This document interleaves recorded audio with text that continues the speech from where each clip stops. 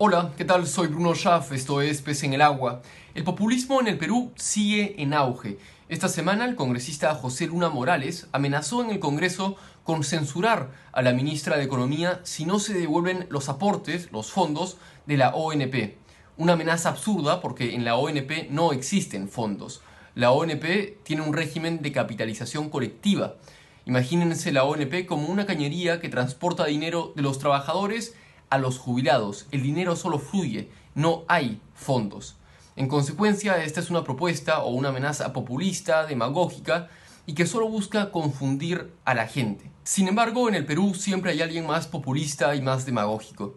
En este caso me refiero a los defensores de la ONP, que se escandalizan de que el Estado tenga que desembolsar 10 mil millones de soles en caso se apruebe esta ley, pero no se escandalizan de que el Estado haya tenido que desembolsar 14 mil millones de soles entre 2011 y 2017 para cubrir el déficit de la ONP. No 10 mil, sino 14 mil millones de soles. Queda claro que el problema de la ONP es estructural y hasta que no se reforme, nuestros jubilados no van a tener una pensión digna. Pero, ¿dónde está el problema? ¿Qué hace que nuestros jubilados no tengan una pensión digna? El problema es muy fácil de identificar y se los muestro con un ejemplo. Una persona aporta durante 20 años el 13% de su sueldo a la ONP, el 13%. Llega a los 65 años y se jubila. Le quedan 20 años de vida.